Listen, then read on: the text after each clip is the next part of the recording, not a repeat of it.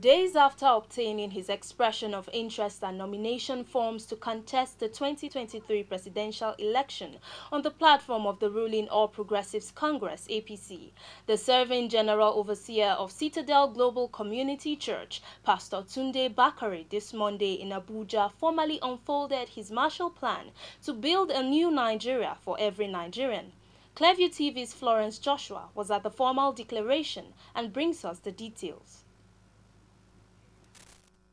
For the former running mate to President Muhammadu Buhari in the defunct Congress for Progressive Change (CPC) in the 2011 general elections, a well-governed nation will guarantee a new Nigeria for every Nigerian. Pastor Bakare said this he wants to achieve using four pillars of peace, progress, prosperity and possibilities as the cornerstone of his administration if elected into office. Today, I'm offering myself to close the distance between the Nigerian reality and every Nigerian dream. To unlock the power of public policy, to accelerate transformation, to infuse our young people with a surge of hope from what is possible, to roll my sleeves up and work hard to solve Nigeria's most intractable problems, to build a cutting-edge nation at the forefront of innovation, to create a new dynamic of belonging in which everyone has a seat and a say. I'm committed to the realization of a new Nigeria for every Nigerian in my lifetime. Dwelling on nationhood, leadership, governance and national security, Pastor Bakare, who said he remains the rallying point to restore order in the country, promised to promote human capital and infrastructural development through sound economic management. As president, my administration will deliver on four mandates. Please be seated.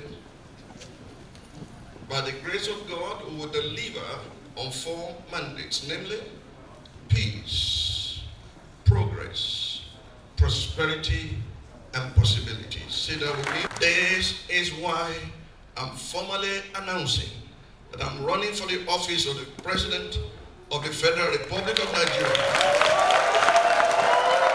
on the platform of All Progressive Congress APC in the 2023 election. Some notable Nigerians at the event, including the founding pastor of Foursquare Gospel Church, Asokoro, Abuja, Reverend Babajide Oluwadola, described Bakare as the man whom the cap fits to usher in a new dawn in Nigeria.